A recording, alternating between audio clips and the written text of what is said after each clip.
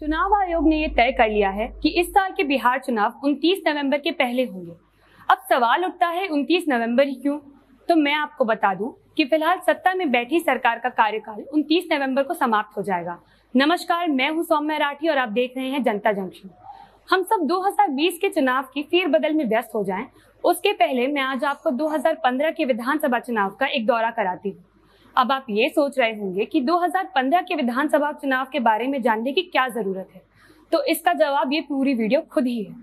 अगर मैं ये कहूँ कि बिहार की राजनीति किसी सास बहू सीरियल से कम नहीं है तो वो गलत नहीं होगा। अब आप खुद मुझे बताइए, पाँच साल पहले जिस आरजेडी और जेडीयू ने गठबंधन की सरकार बनाई थी, वो आज एक दूसरे की बुराइयाँ करते थक नहीं रहे हैं। और वो भाजपा जिसने मन भर कर उस गठबंधन को अपशब्द कहे थे, वो आज जेडीयू की पक्की साथी बनी दिखाई दे रही है। इतनी कॉम्प्लिकेटेड तो मैथ्स की नहीं होती जितनी हमारी पॉलिटिकल पार्टीज़ की इक्वेशन है। अगर आप एक विश जार बनाए और उसमें दस रुपए हर उस बात के लिए डालें जो बिहार की राजनीति के बारे में विचित्र है, आप इस वीडियो के खत्म होने तक लखपति तो बन ही जाएँगे। चलिए अब बात करते हैं 2015 के पॉलिटिकल सिनारियों की। कौन किसका शुभचिंतक था और कौन किसका जानी दुश्मन? किसने कितनी सीटें लूटी और कौन किस सीट पर चुनाव लड़ा?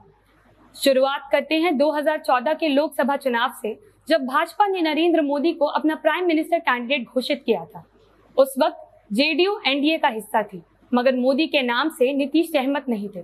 और इसीलिए उन्होंने अपनी पार्टी को एनडीए से अलग कर लिया।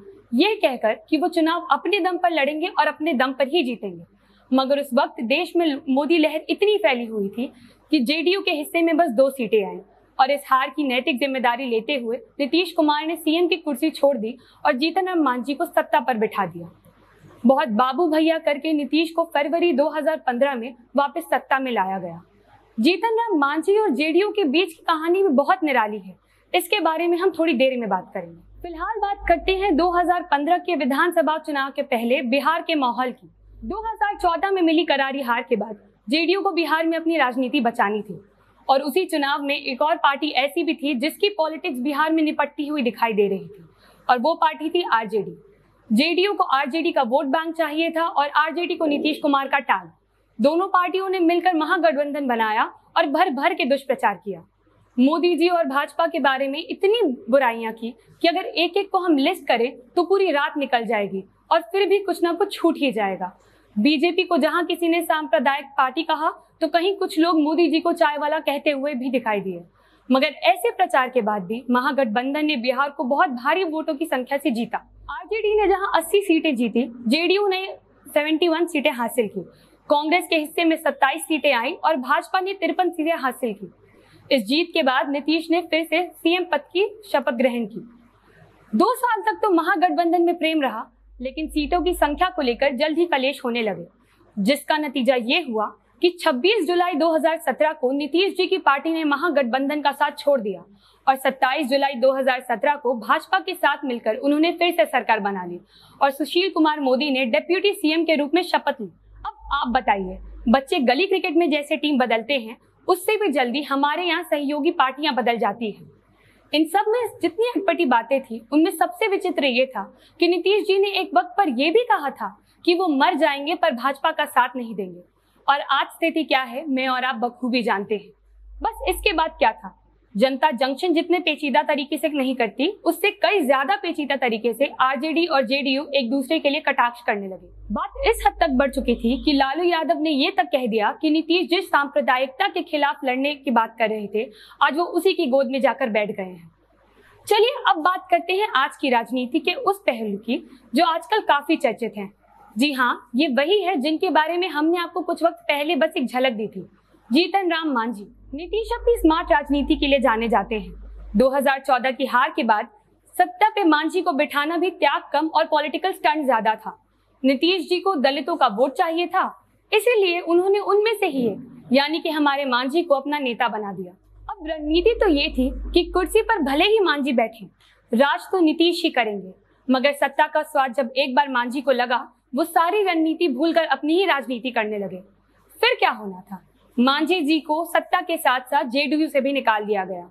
इसके बाद मांझी ने अपने आप को इम्पोर्टेंट नेता बनाने की बहुत कोशिशें की। उन्होंने अपनी पार्टी हिंदुस्तानी आवाम मोर्चा बनाई और एनडीए में शामिल हो गए। लेकिन नीतीश के एनडीए में शामिल होते ही मांझी ने एनडीए का साथ छोड़ दिया और महागठबंधन की ओर चले गए। स्थिति ऐसी थी कि जब नीतीश से मांझी को मुख्यमंत्री बनाने के विषय में पूछा गया तो उन्होंने ये कह दिया, मुझसे गलती हुई। मैं इस बात को स्वीकार करता हूँ। इंसान से भूल हो जाती है, हमारी मती मारी गई थी। ये सुनकर तो आपको ये लग रहा होगा कि नीतीश और मांझी के रिश्ते का अंत था। एक्चुअली सबको यही लगा था, मगर ऐसा हुआ नहीं। महागठबंधन में जलील होने के बाद वो वहाँ से भी अलग हो गए, और इस बार की हकीकत तो आपके और मेरे सामने है। तीन सितंबर 2020 को मांझी फिर से एनडीए में शामिल हो गए। सुनकर आपको भी चक्कर आ गए ना? अब बिहार की राजनीति जलेबी सी सीधी है तो आप और मैं क्या कर सकते हैं? अब ये सुनिए। जेडीयू के स्पोक्स पर्सन नीरज कुमार ने आरजेडी पर आरोप लगाते हुए कहा था, अब आरजेडी में महिला अपराधीकरण का बोलबाला हो गया है। आरजेडी के विधायक राज वल्लभ यादव एक नाबालिग लड़की के साथ दुष्कर्म के आरोप में जेल में बंद हैं। तो तेजस्वी यादव के पीए मनी यादव पर अनैतिक देह व्यापार में शामिल होने का आरोप है। भोजपुर ज़िले में एक महिला को निर्वस्त्र कर घुमाने के मामले में गिरफ़्तार मुख्य आरोपी कौशल किशोर यादव भी आरजेडी के सदस्य हैं। ये खबर जी न्यूज़ पर प्रकाशित हुई थी। ये सारे आरोप तब कहाँ गए थे जब दोनों पार्टियाँ मिलकर बिहार पर राज कर रही थी? क्या सारे दुष्कर्म और पाप अलग होने के बाद शुरू हुए थे?